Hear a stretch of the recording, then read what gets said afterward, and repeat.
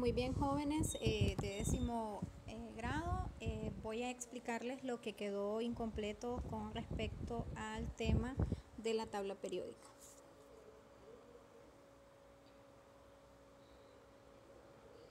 Tenemos que la historia y las familias de la tabla periódica, los aspectos importantes, teníamos que los precursores de la tabla periódica había sido Dodereiner, Newlands y Mendeleev. Dodereiner, ¿qué fue lo que hizo? Pues Dodereiner lo que hizo fue ordenar un conjunto de cada tres elementos químicos que tenían características físicas, em, físicas iguales. Este lo ordenó de acuerdo a, las, a los grupos que se encuentran dentro de, la dentro de lo que es la tabla periódica, pero no pudo encontrar suficientes triadas para construir un sistema, un sistema conveniente. Entonces, por lo cual, esta clasificación quedó descartada.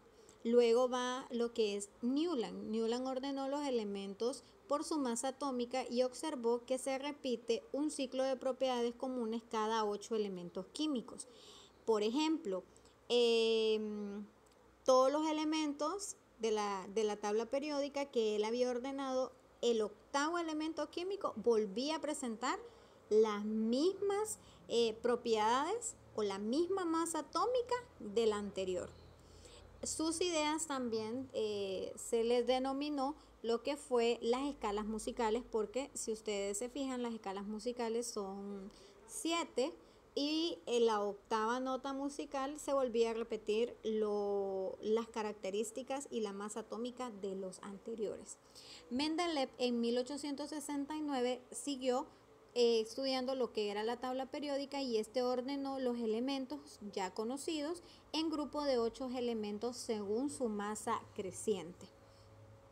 Esto fue lo que había hecho Mendeleev. Mendeleev quiso ordenarlas de acuerdo a su masa atómica. La, la tabla periódica de Mendeleev fue considerada la primera tabla en establecerse con números y elementos químicos. Por eso a él se le considera el padre de la tabla periódica y también originó o, se, o dio origen a lo que es la ley periódica. ¿Qué establecía en esa ley periódica eh, Mendeleev?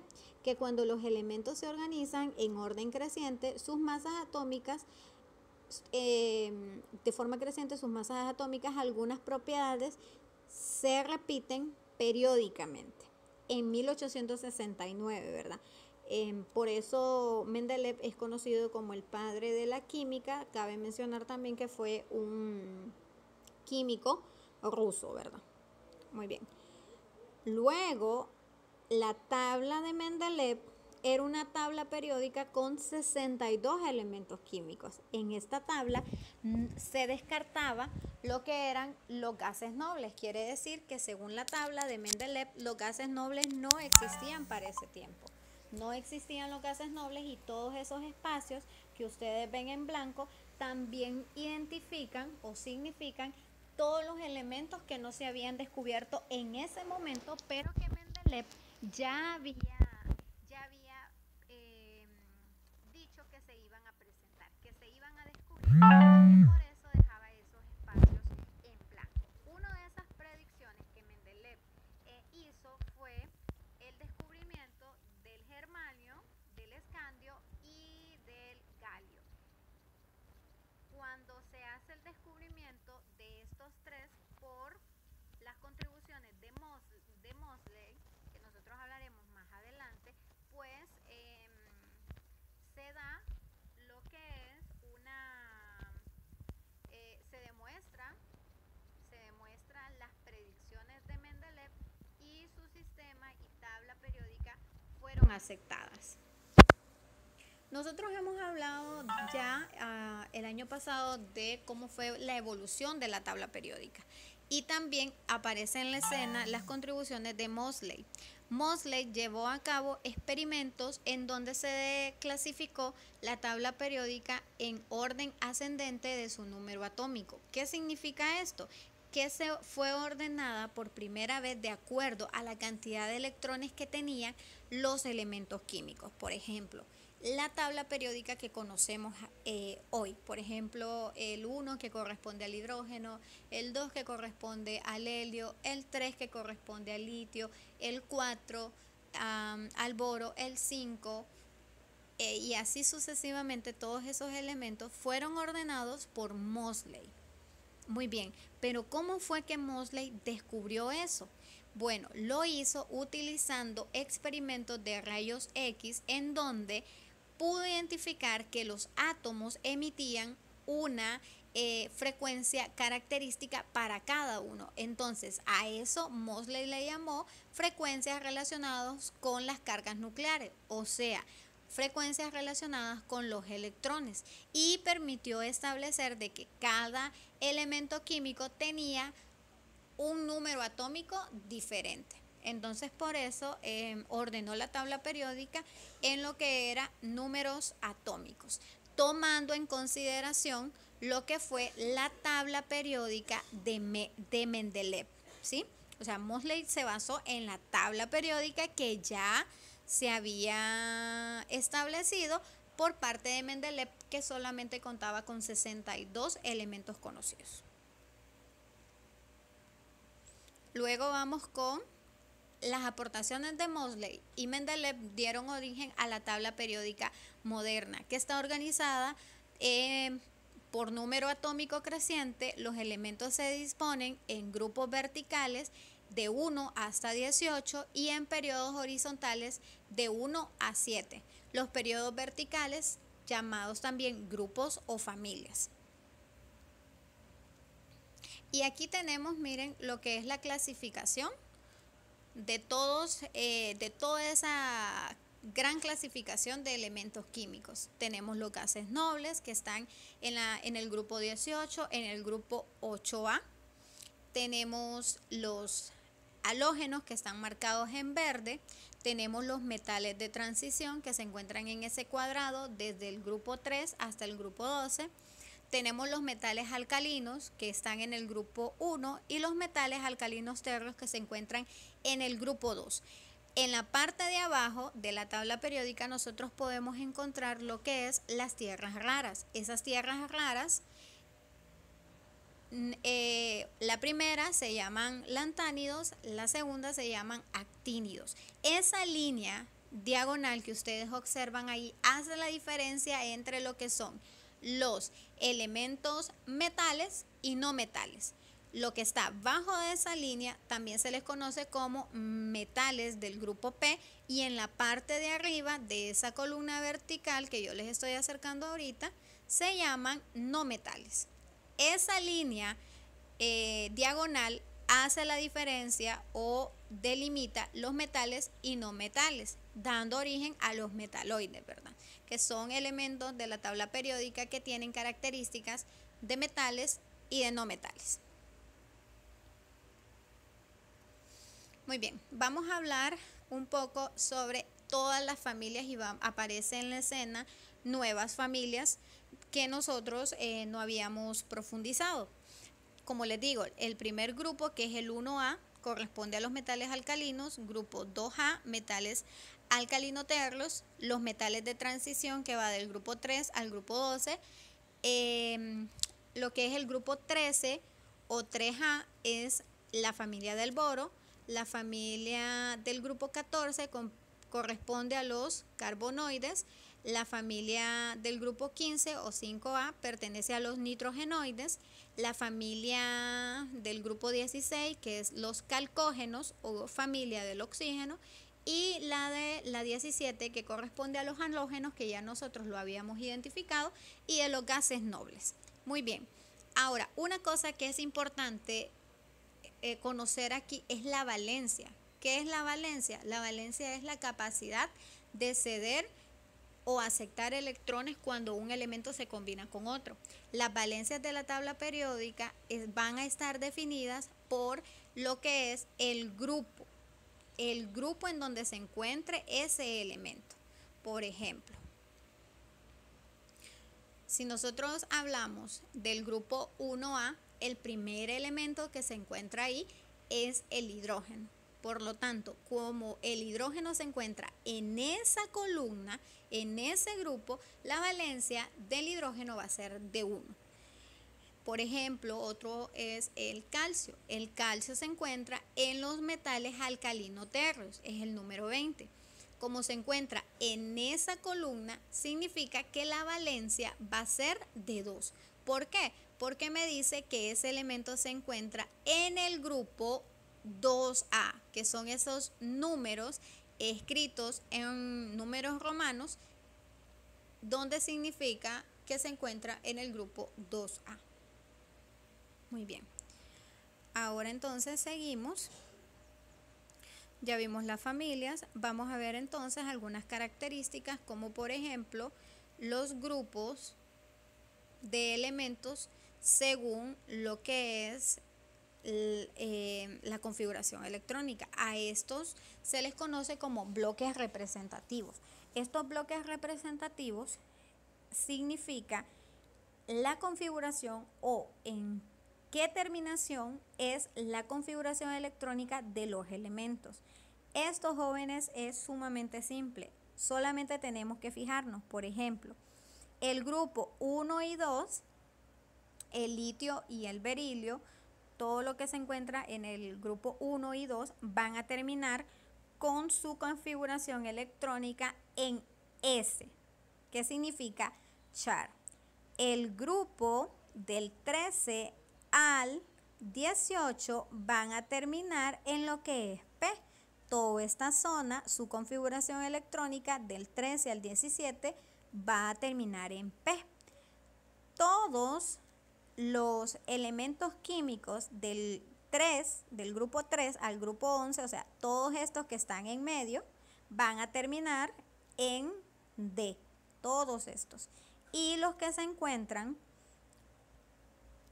en las tierras raras, en los actínidos y en los actínidos, esos grupos o esos elementos de esos grupos terminarán en F, con su configuración electrónica F. Muy bien, algunas propiedades de los metales. Bueno, los metales em, contienen propiedades físicas y químicas. Nos vamos a concentrar en las propiedades físicas. Una de las propiedades físicas es que contienen un brillo y apariencia plateada o griseada. Tienen un brillo metálico característico. Otra propiedad es que eh, son buenos conductores de calor y electricidad. Tenemos, por ejemplo, el cobre. El cobre es uno de los mejores em, conductores de electricidad por excelencia, solamente superado por la plata, ¿verdad?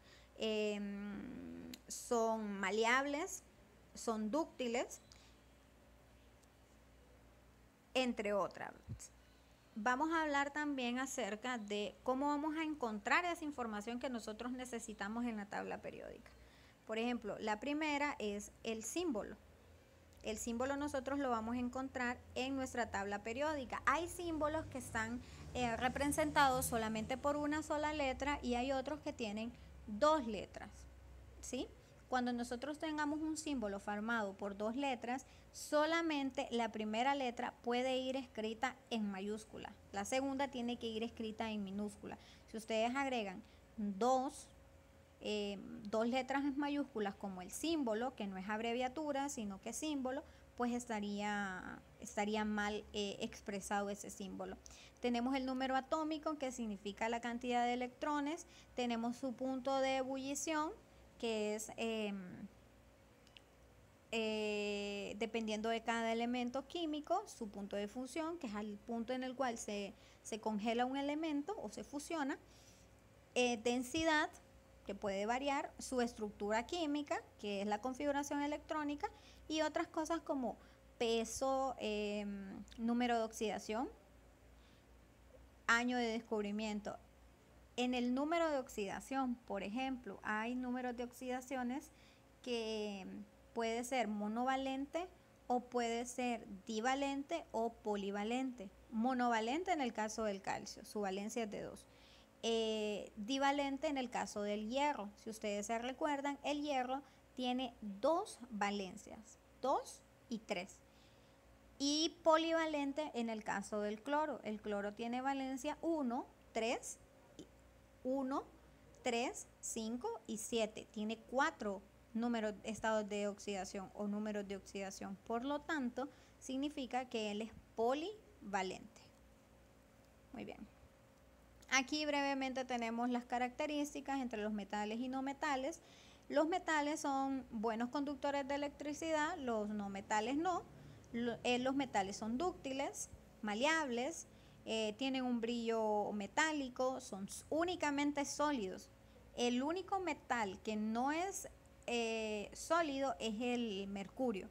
Luego los no metales que no poseen brillo pueden ser sólidos, en el caso de lo que es el mercurio, puede ser líquido en el caso del cloro y puede ser gaseoso en el caso del flúor u otros elementos que, lo, que corresponden a esta clasificación.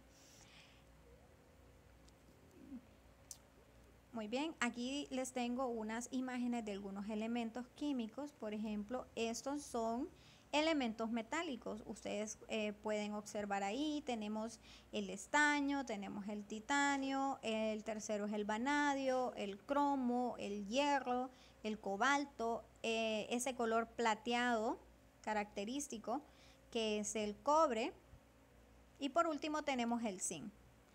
Por este lado tenemos algunos no metales. El primero, el que se encuentra en el matraz, es el oxígeno, que es un gas. Luego tenemos el azufre, que ustedes ya lo conocen, que es en estado sólido. Luego tenemos el selenio, que también es en estado sólido. Y por último tenemos lo que es el teluro, ¿verdad? Que también es sólido.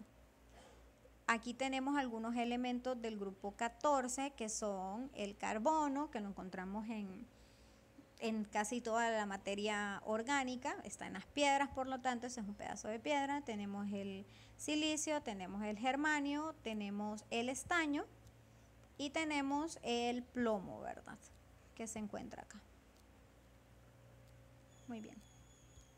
La tabla periódica tiene algunas de sus propiedades. Ahorita vamos a poder observar cómo vamos a poder identificar cuáles son eh, las más principales. Por ejemplo, radioatómico, em, tenemos lo que es el, em, la electronegatividad, la afinidad electrónica. Esas son las propiedades principales de la tabla periódica. Vamos a ver ahora la afinidad electrónica. La afinidad electrónica, jóvenes, es la energía necesaria, la energía necesaria para que un eh, elemento químico se pueda combinar. La afinidad electrónica aumenta de izquierda a derecha, lo que significa que todos los elementos que estén en la parte derecha van a tener una mayor afinidad electrónica que los de la izquierda y disminuye de arriba hacia abajo, lo que significa que los de abajo van a tener menor afinidad electrónica que los de arriba. Un ejemplo sería, si yo les escribo quién tiene mayor afinidad y les coloco el litio y les coloco el cloro, ustedes me dirían que el que tiene mayor afinidad electrónica es el cloro, porque se encuentra a la derecha de la tabla periódica.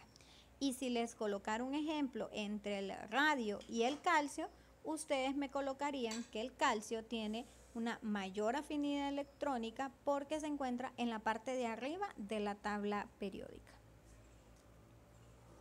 Luego vamos con la electronegatividad. La electronegatividad es la tendencia que tiene los elementos de atraer electrones de enlace.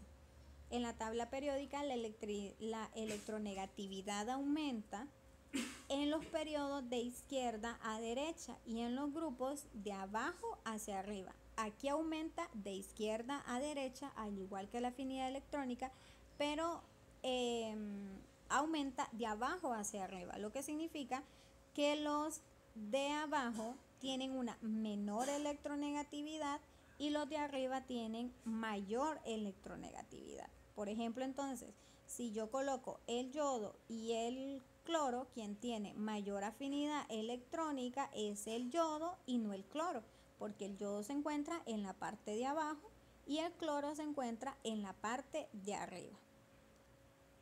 Luego vamos con el radioatómico. El radioatómico es el espacio que hay entre el núcleo y las cortezas. A medida un radioatómico tiene un, un número atómico más grande, significa que su radioatómico será mayor. Por ejemplo, en el caso del radioatómico, los elementos químicos, eh, su radio va a aumentar de, de arriba hacia abajo.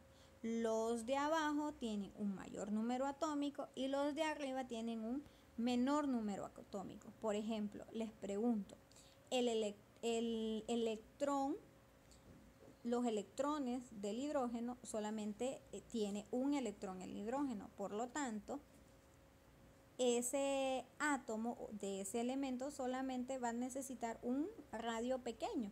En cambio, si yo les pregunto, por ejemplo, el mercurio, que tiene un, eh, un número atómico de 80, ¿quién de los dos tiene una, un mayor radio atómico? Vamos a ver. Exacto. Quien tiene un mayor mm, eh, radio atómico va a ser el mercurio porque él es mayor y disminuye de izquierda a derecha, porque en la derecha se encuentran los, los números atómicos mayores en la tabla periódica. Muy bien. Bueno, jóvenes, esto sería toda la presentación. Espero que, que les haya servido. Cualquier comentario estoy a su espera.